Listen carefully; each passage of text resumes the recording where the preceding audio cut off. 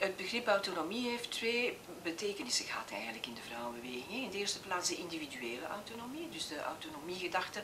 Elke vrouw moet op eigen benen kunnen staan, moet een eigen inkomen hebben. Enfin, moet, dat zou wenselijk zijn, hè? want op die manier zou ze niet meer afhankelijk zijn van een partner en kan zij volwaardig participeren aan de maatschappij, haar eigen keuzes maken.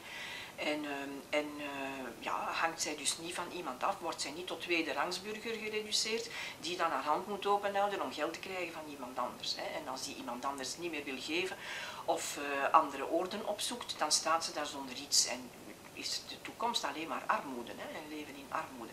Dus om vrouwen te behoeden voor, voor die economische realiteit, hebben wij heel erg gehamerd op die economische onafhankelijkheid, die autonomiegedachte van, maar je moet een, een, beroep hebben, je moet op eigen benen staan, hè, want dat is de conditio sine qua non om gelijk, uh, gelijkheid te kunnen uh, uh, realiseren en om gelijk te kunnen zijn met, mannelijke partners, die, die, die ook autonoom zijn, hè, die hun eigen inkomen hebben en dus hun eigen keuzes kunnen maken, hun eigen beslissingen kunnen nemen, tot op zekere hoogte natuurlijk. Hè.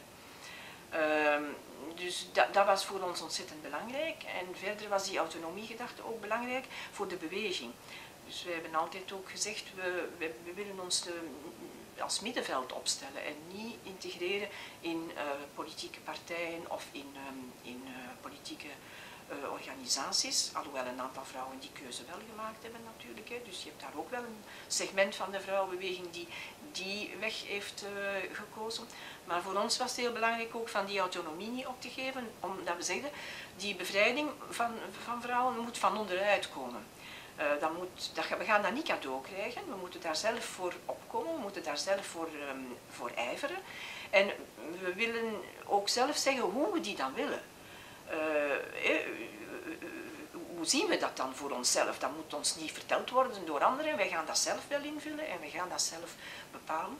En vandaar ook die gedachte van die autonome vrouwenbeweging, die, waarvan we zeggen dat, komt, dat moet uit de basis komen. En vanuit die autonome vrouwenbeweging moet men dan druk moeten we dan druk zetten op het beleid, op de overheid, op de politiek, eh, om maatschappelijke veranderingen te realiseren op alle mogelijke gebieden. Maar we willen daar inspraak in hebben. En die inspraak kunnen we eigenlijk maar hebben als we die druk zetten van, van, vanuit de basis. Dus dat was eigenlijk die autonomiegedachte voor de beweging.